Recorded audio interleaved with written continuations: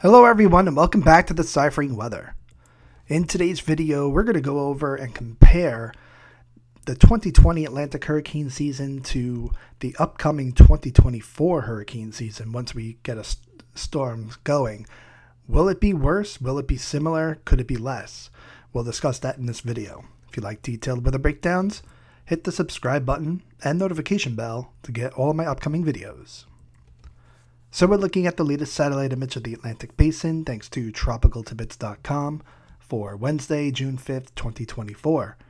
We're monitoring three tropical waves in the Atlantic Basin, one that's over South America, uh, over Suriname and heading towards uh, Venezuela. Then we have two more in the main development region. But all three of those are not expected to develop in the least the next week or so but we will continue to monitor them because they are packets of energy that can bring flooding when they move over your region and could also spin up the storm that we've been talking about in the Western Caribbean in and around the Central American gyre. Here's the vorticity, the spin and energy in the atmosphere associated with those tropical waves highlighted by our red box. Nothing to be concerned with right now as we sit there, just low energy waves moving through looking for a favorable environment to develop. National Hurricane Center is not expecting any tropical development in the next seven days, but like we've been discussing in our videos, there's the possibility beyond seven days that we could start to see the tropics fire up in the Atlantic Basin and potentially in the Eastern Pacific Basin as well as we get into weeks two and three of the month of June. And just like yesterday's video, this is today's model run, looking at both the European and GFS models. Pretty similar to yesterday, so we're really not going to discuss that too much. European is keeping the Central American gyre in and around over land or into the Pacific, whereas the American wants to develop it in the Western uh, Caribbean in and around the Yucatan Peninsula and Western Cuba. So no change there. Ensemble models are pretty much showing the same thing, so if we get anything new, I will discuss that in tomorrow's video. But where this storm could develop is not out of the ordinary. This time of year, between June 1st and June 10th, this is where we would see development Western Caribbean, the Gulf of Mexico, and the Eastern Pacific Basin. Second 10 days of the month, you can see the same thing, expands a little bit more eastward in the Atlantic, a little bit further westward in the Pacific. And then the last 10 days of June, same thing, we could start looking towards the main development region out in the middle of the Atlantic, where our tropical waves coming off the coast of Africa and potentially form out there. So, in terms of where we are right now in the hurricane season, it's still early. Like, we started officially back on June 1st. Today is only the fifth day of the season.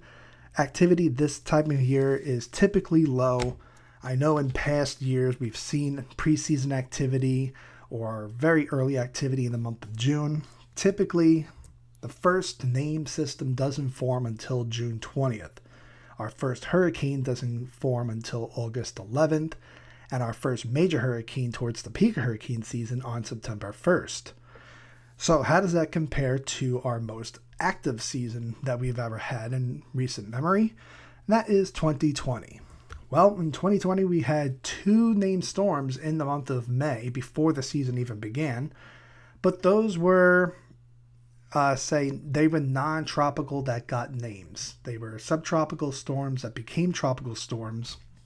They came off the east coast of the United States as mid latitude systems, developed a warm core got a subtropical name and then eventually became tropical in nature as they went on off the east coast of the United States. The first true storm wasn't until we got to Cristobal, which came about from the Central American gyre. So it, it, it too also didn't form from something tropical in nature, like a tropical wave. It formed from the tropical Central American gyre that was a very broad area of circulation and then condensed down and then and then went into the Gulf of Mexico. So then you have Dolly, which formed in the latter half of June, and that and then we were a little quiet. Then we had the uh, second week in July. We had Edouard and Faye Then it was quiet again. And then the end of July, we had a spur of activity with Gonzalo, Hanna, Isaias, and Tropical Depression 10 before we had one last lull period before the middle of August when we had Josephine and then boom, Kyle, Laura, Marco, Omar, N- uh, Nana, all in a row. Then we got into the peak hurricane season. You had Paulette, Rene, Sally, Teddy, Vicky, and Alpha, which all formed rather it, one after another after another include and then at the end of September we had Beta and Wilfred. Then we had maybe a few day period where we didn't have any storms and we had in October Gamma and Delta. Then we had a break in the middle of the month and then towards the end of October we had Epsilon, Zeta, and then Eta. Then we had about a week's break and then we saw Theta and Iota form in the middle of November. And then after that, finally, 2020 was over. So, how does that compare to this year? What are we looking at? The biggest culprit was two things the La Nina in 2020, as you can see here on this sea surface temperature anomaly map. On June 4th, the La Nina wasn't officially official at that point, it was still forming, but you can see it was in the process here. And we had the above average sea surface temperatures in the Atlantic like we have in 2024. But notice one difference. Here we have shadings of yellow and light orange. This is June 4th of 2020. Here is June 4th of 2024. We still have that La Nina forming.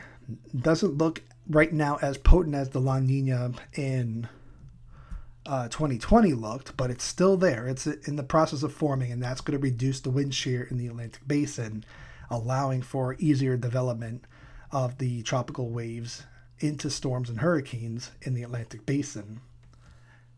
But look at that temperature difference. Those aren't those yellows those are oranges. Those oranges are reds and deep reds in the Atlantic basin.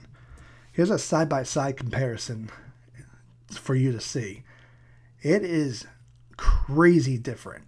I mean, if we got 30 named storms in the 2020 hurricane season, 31 depressions altogether, how many are we going to get in 2024?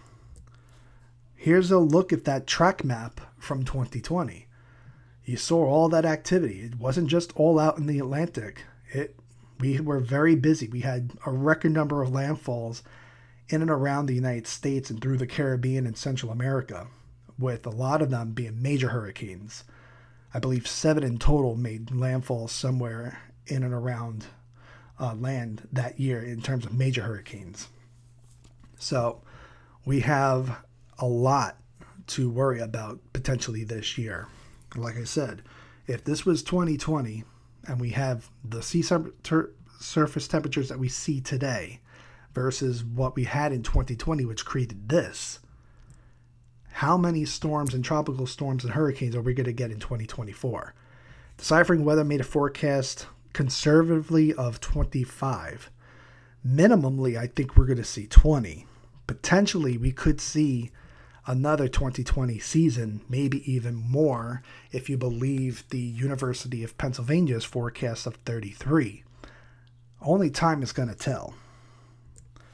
We'll still track the three tropical waves, as we discussed earlier in this video and in yesterday's video, where we'll track the Central American gyre to see if it forms on the Atlantic side or the Pacific side. If it forms on the Atlantic side, first name on the list is uh, going to be Alberto and we'll keep you informed of any changes in the models to let you know when that storm could form. As a reminder, we have super thanks available on deciphering weather. So if you'd like to donate to the channel and like what we do here, please go down to the heart button where it says thanks. Thank you for watching this video. If you liked it, please hit the like button and leave a comment. Please share this video with your family and friends on social media. And if you're new and like detailed weather breakdowns, hit the subscribe button and notification bell to get all of my upcoming videos. Thank you and have a great day.